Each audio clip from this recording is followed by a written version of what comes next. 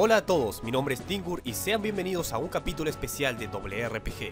Con la llegada de la esperada película de Warcraft, decidí prepararme un poco para no perderme mucho en el argumento que tomará la película, así que repasé un poco la historia de Warcraft, lo que me llevó a estudiar el origen de todo esto, del primer videojuego de batalla táctico en tiempo real de Blizzard Entertainment. Y ya que estaba estudiando esto, pues no me costaba nada dedicarle un capítulo de WRPG a esta gran franquicia, Así que mejor prepárense para ver mapas de 8 bits y darle órdenes a caballeros y orcos borrosos. Hoy hablaremos de Warcraft, Orcs and Humans. Antes de hablar del videojuego en sí, tal vez sea mejor si le dedicamos un minuto a la historia de la compañía, Blizzard, la cual antes poseía el nombre de Silicon and Synapse. Así es, Blizzard no siempre estuvo este logo. De hecho, la empresa mantuvo este nombre durante 3 años, donde cambiaron su nombre al de Chaos Studios, con colores rojos totalmente radical. Pero por temas legales, ya que otra empresa poseía este nombre, tuvieron que volver a cambiarlo, por lo que el presidente de la compañía dijo, Eh, fuck it, ni siquiera queríamos ese estúpido nombre, ahora seremos Blizzard, con color azul, que es mucho mejor que el rojo. Um, ¿estás seguro de que esto fue lo que dijo el presidente de Blizzard? ¡Por supuesto! Ahora quítate ya que me estoy olvidando algunas mentiras. Como iba diciendo, fue después de renombrarse como Blizzard que al poco tiempo, ese mismo año de hecho, lanzaron su primer gran éxito, Warcraft, el primer título que desarrollaron para computadora, el cual les permitió anclar de forma segura en la industria de los videojuegos. Inspirados en universos de fantasía tales como el de la Tierra Media de John Tolkien, Dungeons and Dragons y Warhammer Fantasy, los desarrolladores de Blizzard buscaron dar su gran paso dentro del panorama de fantasía clásica, y para aquellos que sean quisquillosos, estoy consciente acerca de, de los vikings. Pero, por favor, eran vikingos secuestrados por extraterrestres. Tiene tanta fantasía como si Depredador apareciera en la serie de Vikings. Que, por cierto, el actor que interpreta a Ragnar en Vikings, Travis Fimmel, interpretará a Anduin Lothar en la película. La historia presentada en el videojuego era simple, pero para los tiempos que corrían era más que épica. Todos los nerds adictos a los juegos de rol lo único que querían era batallar contra orcos o jugar a ser orcos y batallar contra humanos. Ah, no ha cambiado mucho ahora que lo pienso. Que era justo de lo que trataba Warcraft.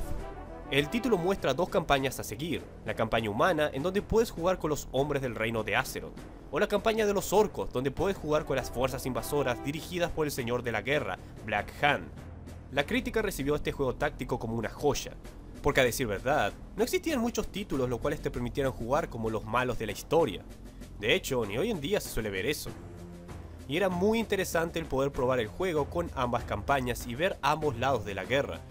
Aunque para ser sinceros, las misiones en ambas campañas eran muy parecidas, solo cambiaba el trasfondo del por qué te encomendaban cierta misión.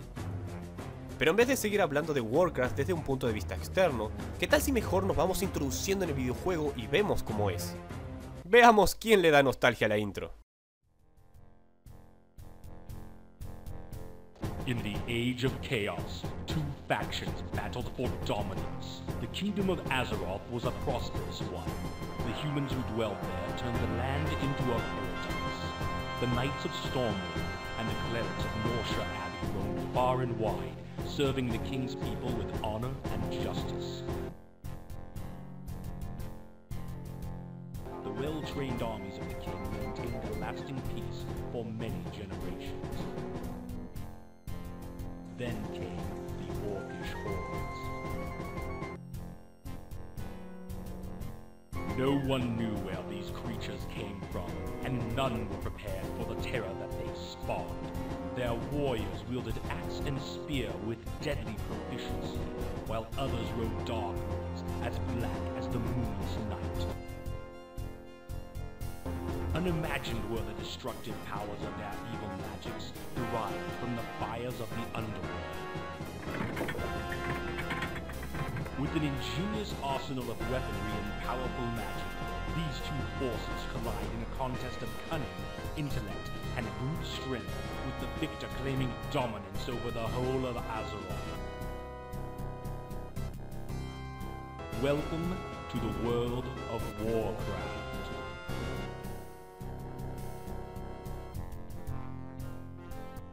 Por ahora concentrémonos en la historia.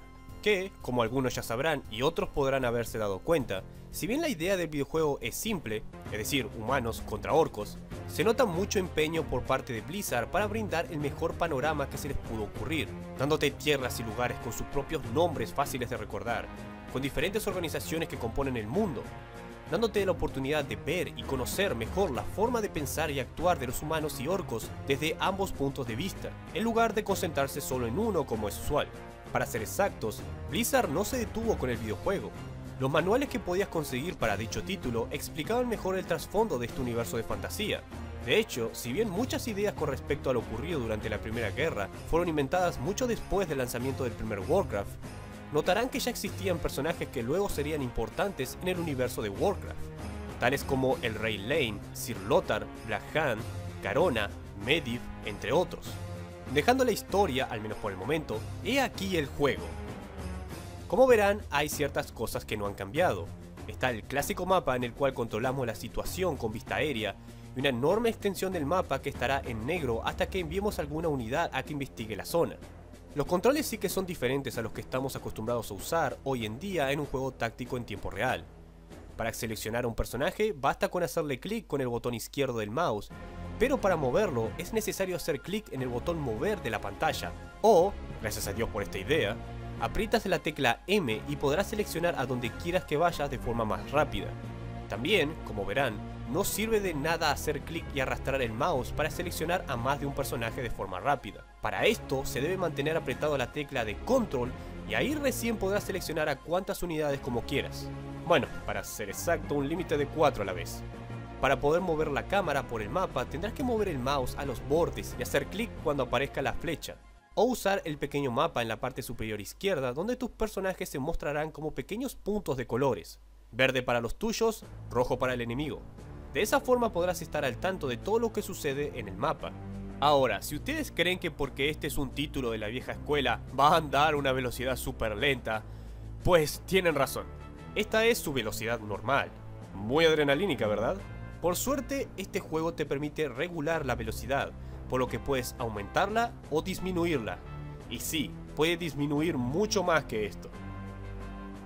El objetivo del videojuego es recolectar los recursos que te proporciona el mapa para poder levantar diferentes edificios, aumentar tu población, crear un ejército y destruir la base enemiga antes de que estos formen su propio ejército y te destruyan a ti por no saber jugar. Existen diferentes clases de personajes a manejar durante el juego, los cuales tendrán sus determinadas utilidades.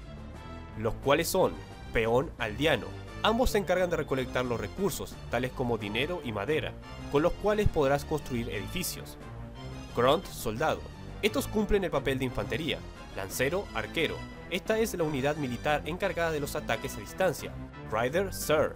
Estos cumplen el papel de la caballería, siendo más fuertes y rápidos que la infantería. Catapulta y catapulta, cumpliendo con el papel de artillería. Necrólita, monje, cumpliendo el papel de magia de apoyo brujo conjurador, cumpliendo con el papel de magia destructiva. Estos dos últimos pueden ser fácilmente los personajes más poderosos en el videojuego. Cada tipo de personaje cumple su rol importante en la construcción de una ciudad. Si bien no todos están disponibles desde el inicio del juego, cada tipo de personaje se irá introduciendo poco a poco entre misión a misión, para que el jugador pueda ir adaptándose a la función de cada unidad. Para poder producir dichas unidades es necesario poseer los edificios determinados, además de que cada unidad poseerá su costo, por lo que aunque la caballería sea más efectiva que la infantería, es más difícil de hacer, y esto es algo que el jugador deberá tener en cuenta si pretende ganar. Y también no se olviden de las granjas, las cuales son absolutamente necesarias ya que de ellas dependemos si queremos agrandar la población a tu cuidado. Así que, Recapitulando, buscas y recolectas recursos para poder levantar los edificios necesarios que te permitirán producir un ejército y erradicar al enemigo de la región. Básicamente lo que hay que hacer en cualquier tipo de juego de batalla táctico en tiempo real, o al menos por la mayor parte de ellos. Todo esto requería de planificación y de sumo cuidado para poder ganar, pero la forma en la cual controlas a tus personajes se muestran muy diferentes a las conocidas hoy en día, teniendo un sistema bastante arcaico en donde toda acción es necesaria seleccionarla a base de un botón en la pantalla, tales como los peones y granjeros, los cuales tienen un botón para mover, detenerse, recolectar madera u oro, reparar y construir. Si no, deberás utilizar las teclas que estén asignadas para las órdenes indicadas, como la S para detener o la H para recolectar recursos. Y esto se repite con las demás unidades, poseyendo las unidades militares botones para seleccionar el ataque, y las unidades están programadas para defenderse por sí solas en caso de ser atacadas por una unidad enemiga. Hoy en día muchas de estas opciones ya están programadas para que actúen de forma automática con simplemente seleccionar el lugar con el mouse, como por ejemplo al seleccionar una casa rota. Automáticamente ordenarás a tus personajes reparar dicha casa, la mayor parte de las unidades militares poseen comandos parecidos, no habiendo diferencias entre las unidades orcas y humanas, excepto con respecto a la magia, donde los monjes poseen la capacidad de curar unidades aliadas, poseen hechizos que le permiten revelar partes oscuras en el mapa con luz sagrada y volver a las unidades invisibles por un tiempo limitado. Por otro lado, los necrólitas también pueden revelar partes ocultas en el mapa, pero ellos no curan, sino que reviven unidades asesinadas con necromancia, por un tiempo limitado y pueden volver invulnerables a las unidades aliadas por un tiempo limitado.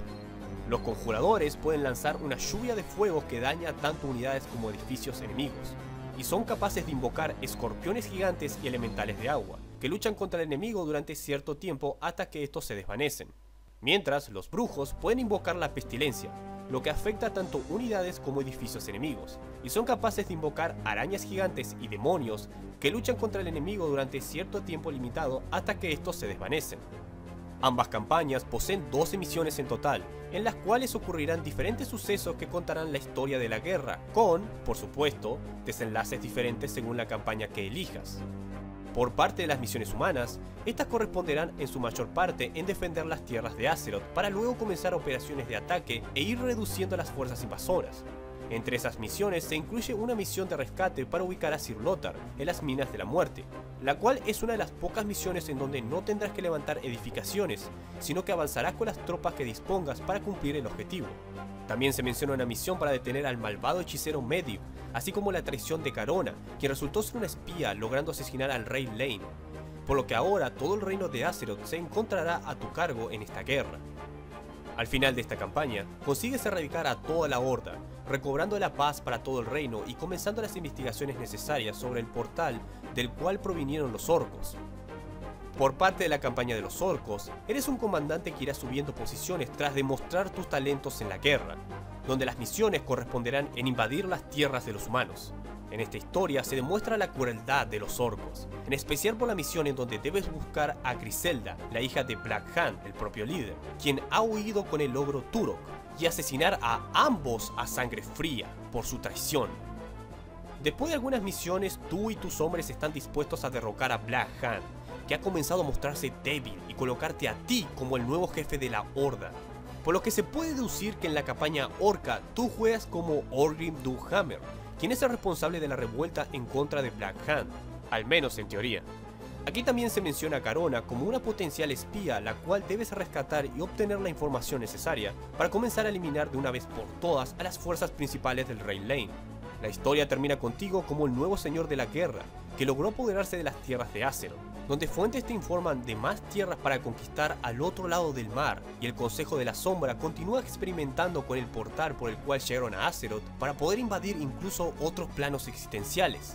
Por lo que sabemos, según la historia que fue compuesta durante todos estos años, la primera guerra fue ganada por los orcos, así que la campaña de los orcos posee el final verdadero, por así decirlo. La música y gráficos, si bien no parece algo que haría explotar tu cabeza, para la época era bastante impresionante los resultados logrados en este videojuego.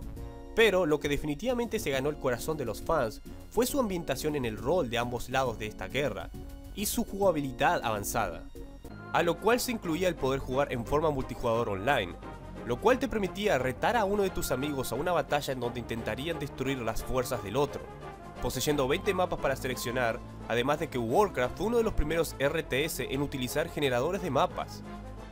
Y todo esto funcionando a través de modem o redes locales. También debo decir que en un principio no habían voces, en la introducción original de Warcraft no había voz de presentación, era solo música con subtítulos.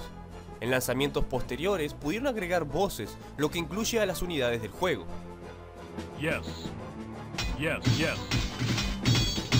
Yes. Yes, my lord. Para aquellos que tengan curiosidad acerca de los requerimientos que pedía este juego y en qué computadoras era compatible, pues Warcraft salió primero para MS2 y posteriormente una versión para Macintosh salió a la venta en 1996. Estos eran los requerimientos para ambos lanzamientos. Warcraft fue todo un éxito, logrando conseguir múltiples premios y reconocimientos a lo largo del tiempo. Presentaba un ambiente totalmente clásico y atrayente basado en la fantasía, pero también su éxito es debido a su excelente funcionalidad con respecto al modo de jugarlo, presentando una jugabilidad rápida, dinámica, fácil de entender y manejar. De hecho, Warcraft surgió en lo que algunos conocen como la nueva época de los RTS, o sea, Real Time Strategy, traducido como estrategia en tiempo real.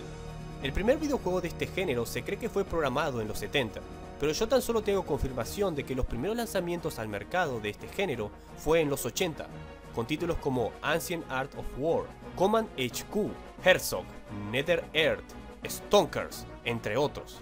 Pero fue después de los 90 que títulos como Doom 2 revolucionaron el sistema de juegos de los RTS, lo cual creó la base que utilizarían otras franquicias como Command and Conquer y el propio Warcraft. Por lo que Warcraft no es tan solo una base importante en la compañía de Blizzard, también podemos tratarlo como un partidario importante para una nueva generación de los RTS.